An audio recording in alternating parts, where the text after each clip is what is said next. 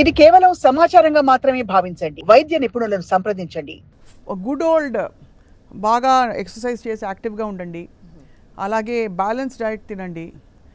ఒక చపాతి ఇంత ఆకుకూర పప్పు అలాంటి అసలు నార్మల్ థింగ్స్కి అసలు ఇప్పుడు మార్కెటబిలిటీ లేకుండా పోయింది.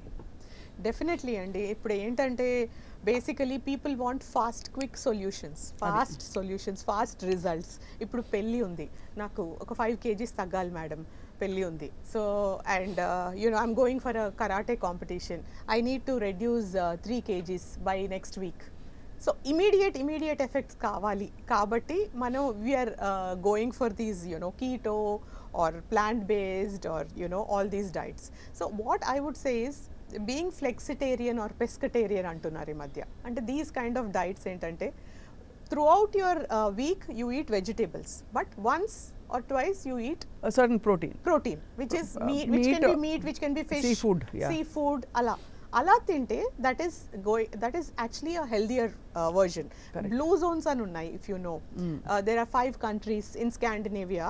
Blue zones అంటున్నాం where these countries are the happiest countries and the healthiest countries so ఇందులో ఏంటంటే వాళ్ళు ఫాలో డైట్ ఏంటంటే ఇలా pescatarian diet flexitarian diet and also Mediterranean diet అంటే మీరు యాక్చువల్లీ మనం అండర్ ఎస్టిమేట్ చేసే ఒక కీలక అంశం అంటే హెల్త్లో ఆనందంగా హాయిగా ఉన్నావా లేదా?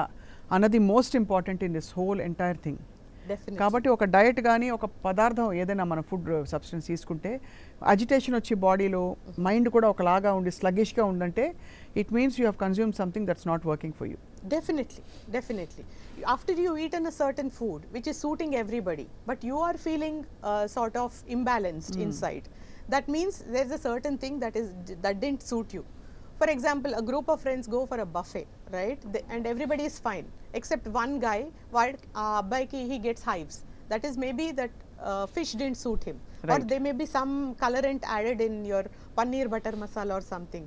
Which didn't suit him దానికి ఎలర్జీ వస్తుంది హైవ్స్ వస్తాయి so individual body is different అండి మోస్ట్ ఇంపార్టెంట్ థింగ్ శరీరాన్ని గమనించుకుంటూ ఉండడం అవును అండ్ అలాగే లేబుల్స్ మీరు చెప్పినట్టుగా కరెక్ట్గా చదవడం అండ్ ఆల్సో డ్రాస్టిక్గా ఇది చేయకపోవడం ఎస్ అండ్ ఒకటి వాట్ ఐ థింక్ కొంచెం స్ట్రిక్ట్గా ఉండాలి ఇక్కడ అంటే మన యునో దీస్ ఎఫ్ఎస్ఎస్ఏ కానీ ఇలాంటి regulatory agents have to be a little stricter on you know policies and uh, you know when they give these labels and licenses i think they should be a little more stringent than what they are currently